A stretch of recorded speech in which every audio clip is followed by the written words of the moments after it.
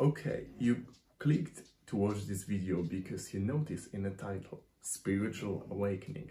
So probably you are going through this or you want to discover what is it, what are symptoms and what changes in life after spiritual awakening. And in this video I'm going to explain it to you, so watch this till the end. Spiritual awakening is a process in our life which a lot of people experience. I would say that everyone in some degree, in which we start to awaken and to realize who we are on a deeper level, that we are not who we think we were, and we realize that we are something formless, that we need to form in physical existence, that we need to create ourselves. And we realize that a lot of these beliefs that we had about words were not ours. They were created, they were taken from other people, from our surroundings. And they were, in many times, distorting our reality. And we were not able to perceive world the way it is. Spiritual awakening is not something that you will that you will close your eyes and see the psychedelic things, etc. No, it's just normal thing. It's called spiritual because we realize that we are not only body, we are something more. And we can describe it a lot of ways, but this is most basic way that we can describe it. And not to think that this is something that you can achieve, that you can get through yoga, for example, through meditation, because in many cases it happens spontaneously. When you're traveling, you're seeing different parts of the world and your head is opening and you see things in a completely new way. You perceive yourself in a completely new way. Because throughout our whole life, we have a lot of moments when we enlighten ourselves step by step and something changes in our head. And now we are perceiving words in a different way. And it's not only temporary, but it's permanent. And later, these changes are accumulating and we see that one year ago we were a completely different person that we are right now. And this is deep transformation because a lot of people are stuck in their personalities for their whole life, stuck in their routine. They're doing every day same things, thinking about same things. And when you are awakened spiritually, this monotony disappears. Even if your life is monotonous, you're doing same thing every day, you every day you approach with this clear head, let's say, because you understand that even in this monotony, it's unique. And every day is unique, even if you're doing same things. After, after you awaken spiritually, you basically understand that these cycles that we observe in the world are basically in our head and word even if you have day, night, day, night, every day and every night is kind of different. But our mind is accustomed to monotony, to habits, to repetitive cycles. And we perceive other people also as repetitive things that this person will say. For example, this in particular situation, this person will react in particular way in this situation.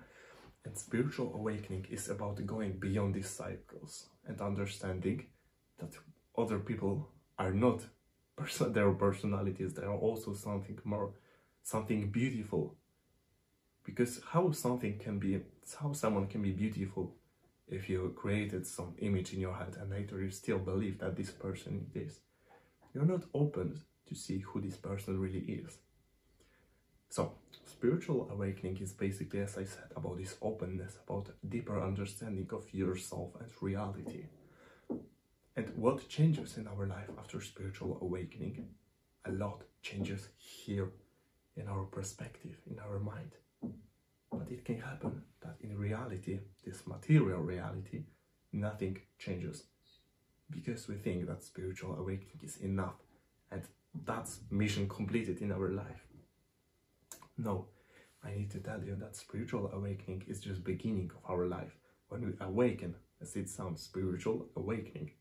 And later, we need to realize that it's not about being passive. It's about creating our reality the way we want.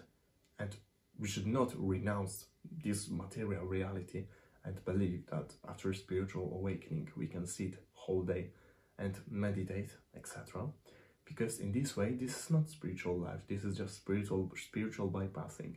Because we all know on some level that we need to take action in our material life and do things that we consider valuable, that will bring value to ourselves and to others. And we need to live literally normal life through doing, not only through sitting and wondering about how this world was created, etc. Because in practice, when we immerse ourselves into our lives, this is most beautiful state when we forget about everything and we just are in action, in being, in doing what we love, in doing things even that we don't love but we are immersed in them.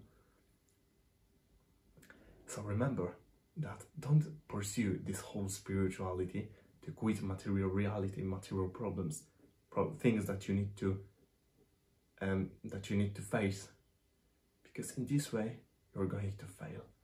And after spiritual awakening, we are able to feel more pain because we understand reality on a deeper level. And after spiritual awakening, we need to also remain grounded in reality and do things in our real spiritual is also real, of course, but in real, I mean material life. We need to stay here and we should not spiritual bypass reality and not pursue spiritual awakening in order to find soul consolation in our life. Because in the process of getting spiritually enlightened, spiritually awakened, we will need to go through a lot of suffering and a lot of things that we need to solve within ourselves that we're distorting our real reality, that we're limiting us from the truth that we want to discover. And this whole process is necessary in order to discover truth, in order to discover true beauty of the world, in order to discover true beauty of every person, every person. Thank you for watching this video. Leave a like, comment and subscribe my channel.